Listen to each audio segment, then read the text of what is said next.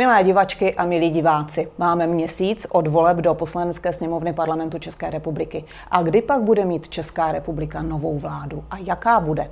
I to jsou otázky pro Pavla Sehnala, předsedu Aliance pro budoucnost. Dobrý den. Dobrý den.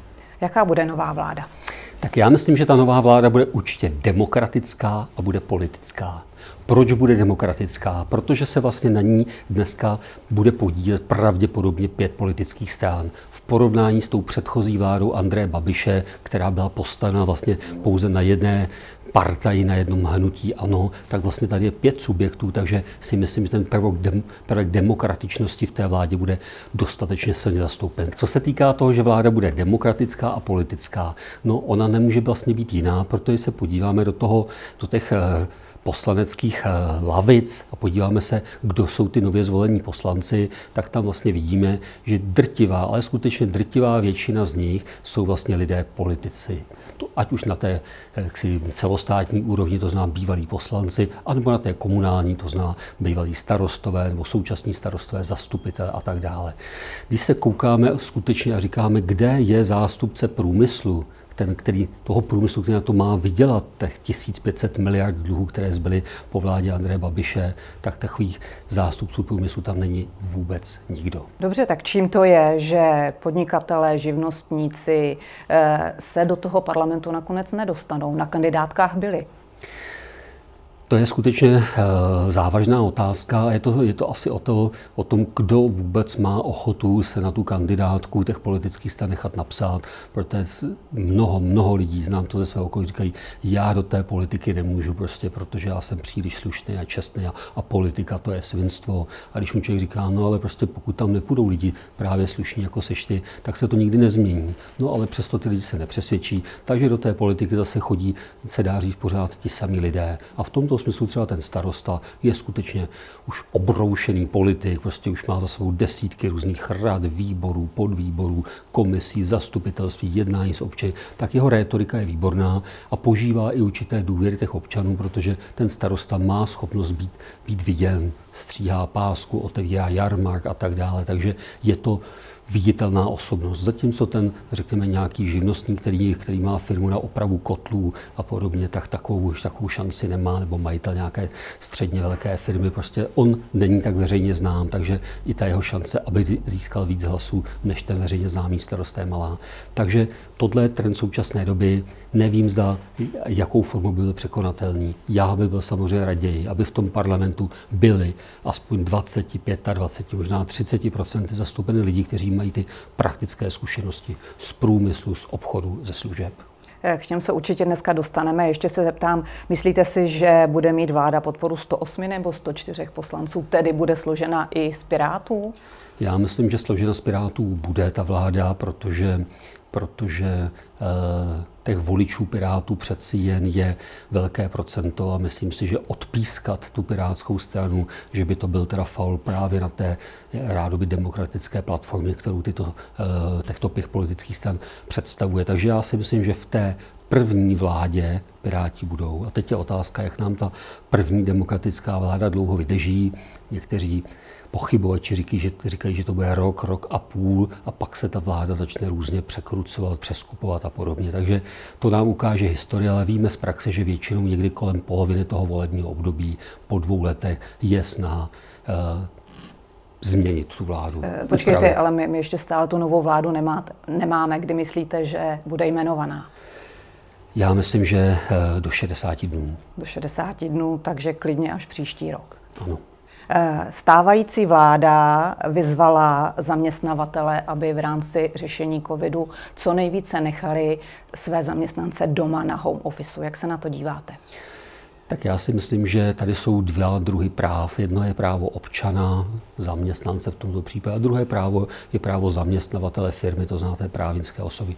Obě ty práva by měly být používána v tom slova smyslu, že každý si může vybrat. Takže jestli ten zaměstnavatel řekne, já těm lidem nařizuji práci domů, doma a podobně, tak by to mělo být právem toho zaměstnavatele, protože řekne, jsou tady nějaké důvody, prostě ať už eh, druh výroby nebo druh té činnosti.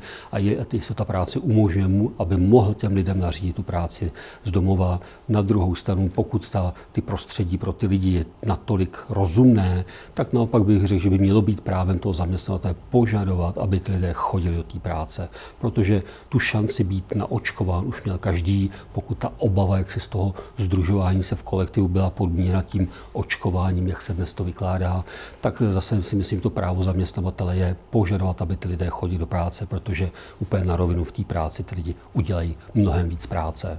Eh, vy máte vlastně zkušenost s firmama, s výrobními, se službami, eh, volnočasové aktivity, máte pojišťovnu. Eh, jak to tam je se strukturou lidí? Jak jsou na očkovaní, jak chtějí být na očkovaní a co vy po nich můžete chtít? No byl jsem trošku překvapen, že teď, když jsme naposledy byl v továrně, tak vlastně ta, ten průměr na očkovaných lidí je kolem 58% a ty ostatní prostě nechtějí, odmítají, nechtějí se zúčastnit toho procesu očkování buď je to z obavy z nějakých zdravotních jaksi, komplikací, anebo je to prostě jenom proto, že říkají, prostě tady nám někdo něco vnucuje a já to nechci. A je to skutečně těžké jakoby najít tu správnou míru mezi tím, jestli je nějakou formou donucovat nebo nedonucovat.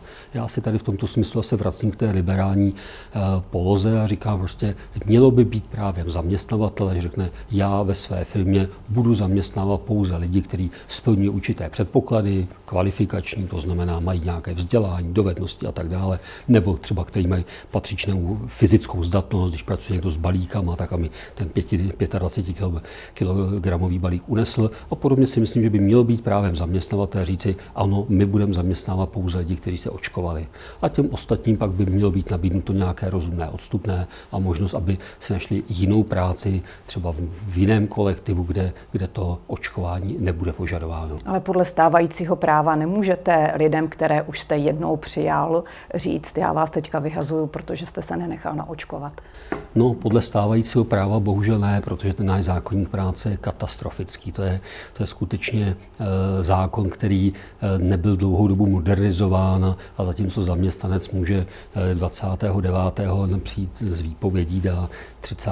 dát stůl a za dva měsíce pryč a je na jiném zaměstnání, tak ta firma tu stejnou šanci nemá.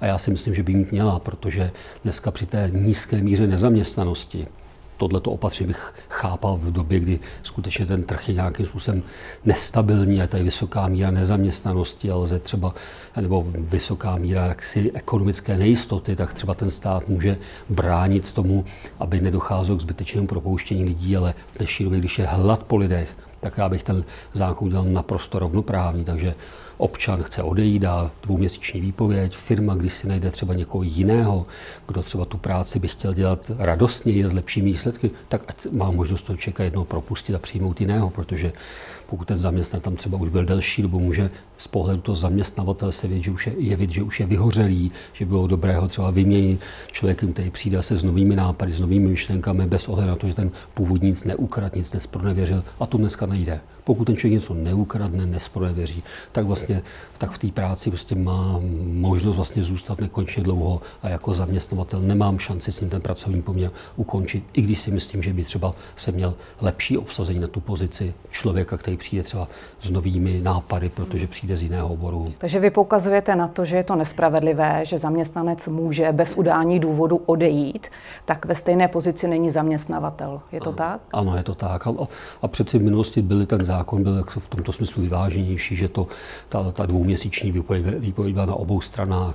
Jo, pokud někdo z levicovějších politiků řekne, že by třeba tam mělo být nějaké eh, odstupné větší než dvouměsíční a tak dále, tak, tak může, může ten požadavek být ekonomický a neměl by být takový, který bránil tomu toho člověka uvolnit. Můžeme se bavit o tom, jak velká má být ta dávka kterou ten zaměstnavatel předá tomu občanovi, tomu bývalému zaměstnanci, aby on překlenul tu dobu, než si najde nové zaměstnání. Ale dneska, kdo chce pracovat, tak bych řekl, do měsíce tu práce najde. Nezaměstnanost je v nízkých procentech, což ano. je vlastně zdravé a, a asi není kýžené, aby to bylo. zdravé. Eh, aby to byla nula, není cíl, že jo. Eh, pro, pro ekonomiku je zdravé, když, je určit, když jsou určitá procenta. Na kolika procentech by měla být teda nezaměstnanost, abyste souhlasil s tím, že stát bude bránit ty potenciálně nezaměstnané? No, já si myslím, že by to mělo být až někdy, kdy to atakuje tu desetiprocentní hranici zaměstnanosti v případě, že máme tak bohatý ten systém těch záchytných sociálních dávek. Mm-hmm. Jo, protože vlastně ten, kdo tu práci nemá, jde na ten úřad práce, ten dostane poměrně bohaté sociální dávky a, a vemte si to paradoxně, že my tady máme podporu v nezaměstnanosti. Znamená, místo, aby stát dával podporu v zaměstnanosti, tak vlastně stát vy, vy, dává příspěvky jako podporu v nezaměstnanosti, takže on vlastně podporuje ty, ty lidi, aby nešli do práce, což je naprosto chybné. Tam si skutečně myslím, že, že ta povinnost pracovat by prostě měla být a pokud ten člověk ztratí tu práci v soukromém sektoru, tak tady ten státní sektor prostě by měl okamžitě toho člověka přeřadit na nějakou pozici, která, kterou může zastávat aspoň po tu přechodnou dobu.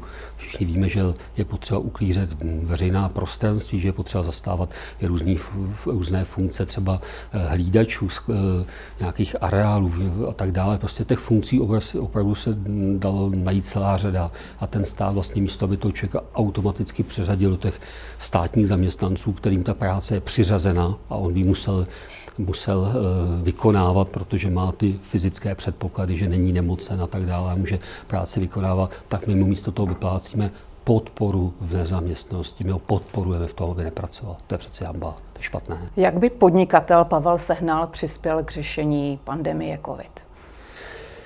Ta pandemie COVID bych eh, za mě řekl, z ekonomického pohledu je již za námi. Zaplať pámbu. Teď už je skutečně to, že se bojíme toho, že tu nákazu získáme. Kdo chtěl, měl možnost se nějakým způsobem ochránit.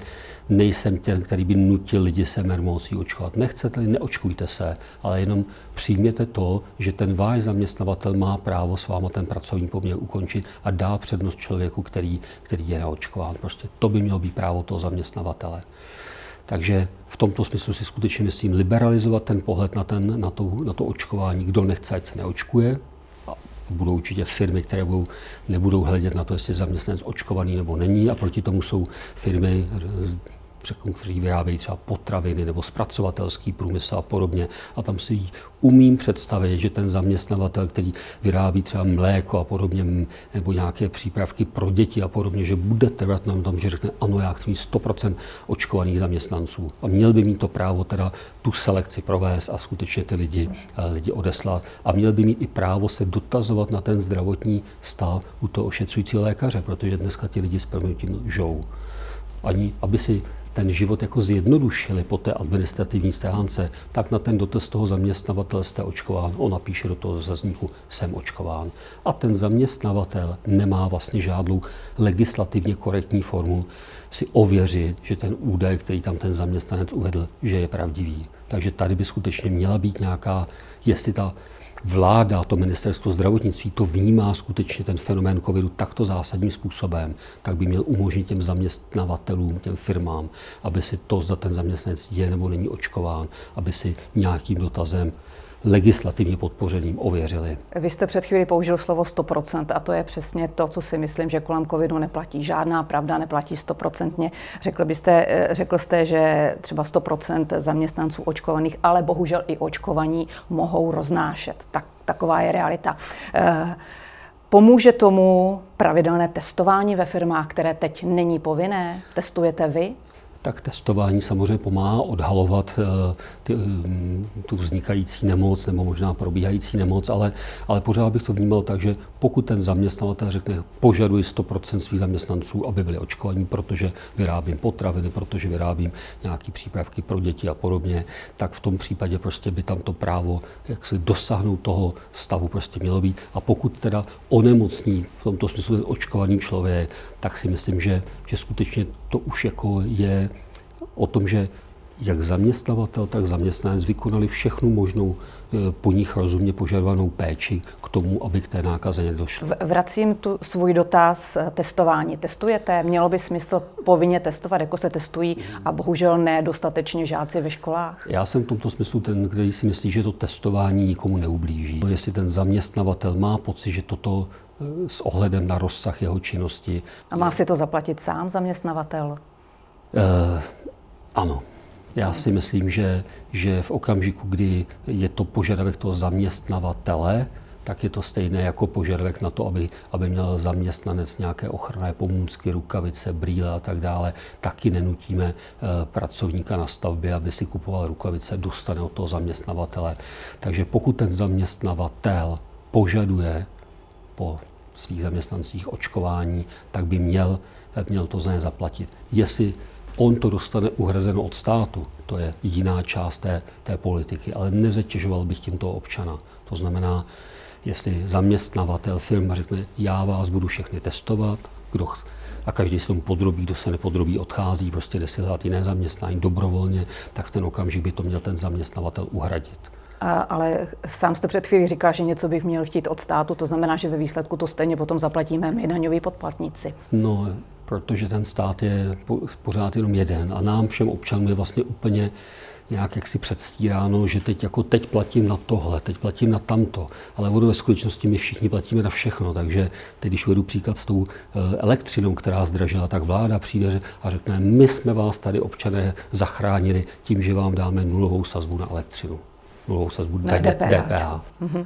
A já říkám, ale to vlastně kontraproduktivní, tak si uvědomte, že pokud budete, teď to převedu příklad vepřový a hovězí maso, tak pokud dáte nulovou sazbu na vepřové maso, no tak ho vlastně zlevníte a začnou si všichni kupovat vepřový. Když dáte e, nulovou sazbu DPH na hovězí, přeleje se ten trh zase od toho hovězího. Tak přeci tohle nemá být smyslem. To znamená, my jsme vlastně umožnili producentům elektřiny, nebo vláda, tím, že tam dá nízkou sazbu DPH, říká, prodávejte si draze, Vlastně my vám to naopak v tom ještě pomůžeme tím, že vám tam dáme tu nulové DPH za mě naprosto chybný krok. Místo, aby to vedlo toho občana k tomu, aby šetřil s tou elektřinou, aby hledal úspory. Fotovoltaika, vypnu, zhasnu, prostě, když nepotřebuji svítit a tak dále, koupím si úspornější spotřebič a podobně, tak vlastně my říkáme, plítvejte tou elektřinou dál, nemotivujeme toho člověka k těm úsporám. Takže co by bývalá vláda mohla udělat? No jestli chce tomu občanu nechat víc peněz v peněžence, tak může zlevnit všechno ostatní. Může obecně snížit DPH třeba o jeden, o dva procentní body. Teď tomu občanovi ty peníze v té peněžence zůstanou. Ale vlastně toho, kdo vybočil z toho trhu a zdražil o 300% tu elektřinu, ty producenti, tak my je vlastně ještě zvýhodníme. My říkáme, my stát vám tam dáme nulový DPH, ať se vám dobře žije. No to je přeci hloupost.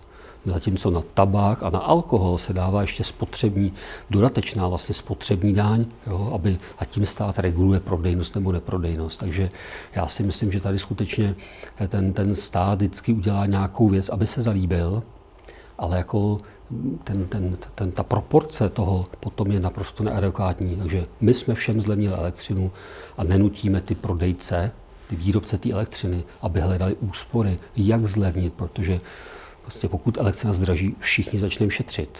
A to by přeci bylo žádoucí, je donutit ty producenty, aby oni hledali úspory. A pak je samozřejmě otázka, proč vůbec elektřina v Česku zdražila. Na to všichni hledáme odpověď a já ji tady vůbec nevidím. Jestli Česká republika vyrobí těch svých zhruba 60-70 terawatt hodin elektrické energie a 15% vyvážíme, tak jsme, jsme energeticky soběstační. Dokonce vyvážíme elektřinu. Emisní povolenky, to je, to je mýtus, který je potřeba zbořit. Česká republika, respektive Čes, vydělává na prodej emisních povolenek. 10% provozního zisku Česů je zisk z prodeje emisních povolenek.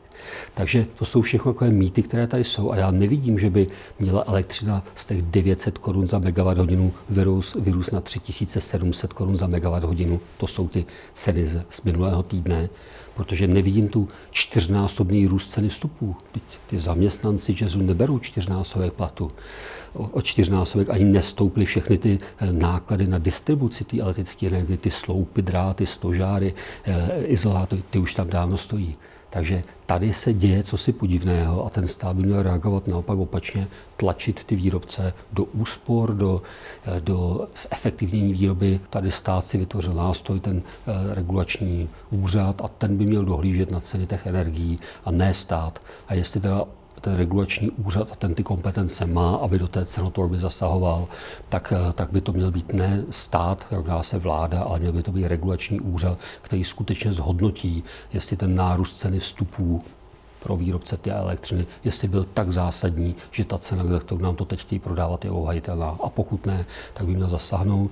A další věc je, je otázka monopolního nebo takzvaně antomonopolního úřadu. V Česku se jmenuje Úřad pro, o, e, pro hospodářskou soutěž. Ochranu hospodářské soutěže. No. hospodářské úhoz. A tenhle orgán by měl fungovat skvěle. A tenhle orgán vidíme, že nefunguje dobře ani celosvětově. Otázka, proč nejsou čipy, protože jak je možné, že jeden výrobce má 70-80% podíl světovém trhu. No, protože antimonopolní úřad zaspal. A když se vrátím do Česka, tak zase máme tady tak omezený počet výrobců té elektřiny, že to vlastně naráží na, to, na ten stav, že když oni všichni se rozhodnou tu cenu někam pohnout, tak to zjevně udělají. Je otázka toho malého českého úhozu, jestli vlastně je vůbec schopen proti tomu zasáhnout, jestli kdybychom byli součástí té Evropské unie, tak jestli by ten regulační evropský orgán už neměl tu sílu a kompetenci, protože ono nemůžeme uškrtit čes, když ty všichni ostatní budou na tom v Evropě jinak. Prostě ten regulační úřad by měl fungovat na bázi Evropa. Pane Sehnale, eh, nejsou čipy, zdražování energií, covid se nám zase rozrůstá. Eh, platí i tady, že všechno zlé je pro něco dobré? Vidíte nějaké pozitivní řešení nebo něco pozitivního, co tato doba, která nás takhle zkouší, přinese? Víte, tohle je otázka, na kterou hledám eh, odpověď, jak vlastně říct. No, prostě vždycky byly v těch dějinách lidstva okamžiky, kdy to lidstvo nějak trpělo upilo. Já jsem nezažil válku, moje maminka zažila válku a tak dále. Takže prostě byly asi okamžiky, kdy té společno, evropskému společenství prostě bylo hůře než je teď. Teď eh, ano, je možná před námi několik let, kdy ten komfort života se nám sníží, kdy ta naše spotřeba se sníží, ale pořád si myslím, že ten stav té společnosti je, bych řekl, natolik luxusní, že tady asi nehrozí, že by najednou polovina české populace eh, měla umírat hledem. Takový stav tady skutečně nevidím. Takže ano, možná se omezíme ve spotřebě, možná se omezíme v různých jiných požitcích, na které jsme byli zvyklí, ale pořád ten komfort té společnosti bude velký.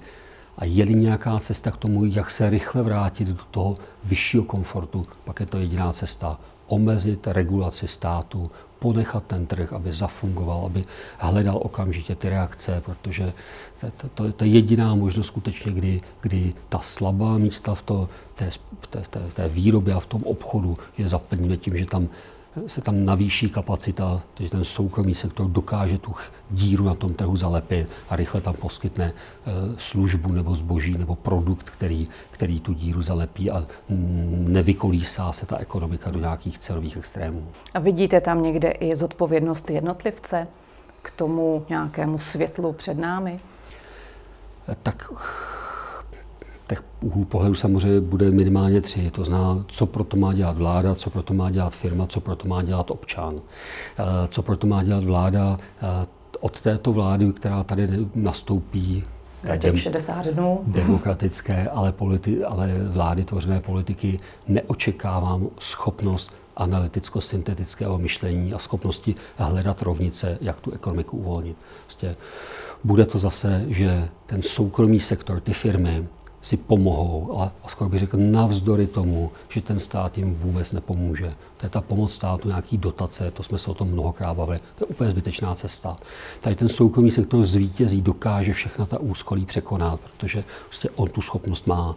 Ta, ta vláda by byl skvělý, kdyby se sešla a pak třeba rok nešli do práce. Já myslím, že mezi tím by se to všechno opravilo a pak by mohli přijít a říct, hele, už je to v pořádku, ale a u, u toho se můžou fotit někdy nějaký má s nějakým stříháním pásky a s věncem, ale kdyby pokud možno nedělali žádná ekonomická opatření, protože to je takový ten možná 200 let platný eh, fenomén laissez-faire francouzský. Nechte nás na pokoji, nechte mm-hmm. nás průmyslníky, nechte nás dělat to, co dělat umíme. My tu ekonomiku opravíme a vy politici...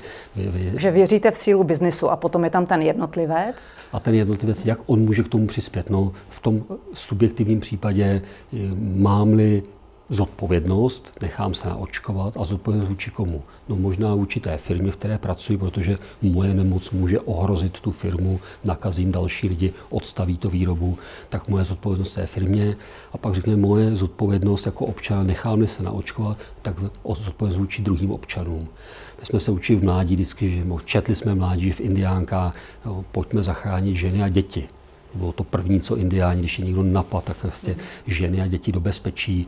A tenhle ten princip se z té společnosti vytratil. A, a tady dopředu předestíhám, že to je můj názor, který není, není příliš konzultován se zdravotnickými odborníky. Já bych chtěl chránit ty ženy a děti v tom slova smyslu, že žena, která je těhotná, tak ať se neočkuje, protože si myslím, že ta reakce v tom těle může nějakým způsobem nepříznivě působit na, na ten průběh těhotenství.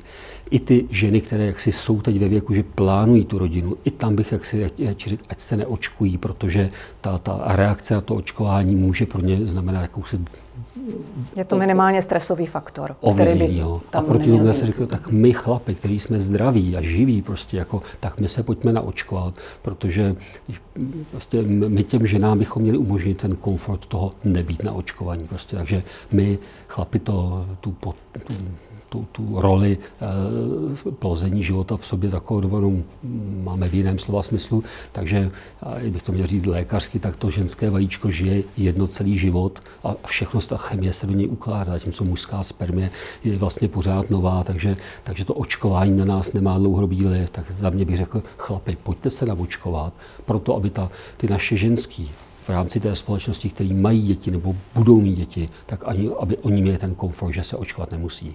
A vy sám jste se byl pro třetí dávku? Nebyl a plánuji, že si nejdřív nechám změřit ty protilátky, abych eh, nebráním se té třetí dávce, ale nevím vlastně, jestli ustočit teď za nějakou dobu nebo nikdy. Myslím, že tady je potřeba, aby ty odborníci, ty lékaři připravili systém testování protilátek, abychom věděli, jestli ta třetí dávka je nutná, je potřebná a kdy. Skvělé téma pro příště. Děkuji vám. Děkuji vám. Hezký den všem.